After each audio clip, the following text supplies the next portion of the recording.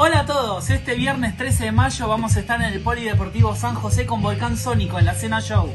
Va a haber karaoke, noche de milangas y es una noche súper ochentosa, así que los esperamos a todos con mucho rock, mucha música. Gracias.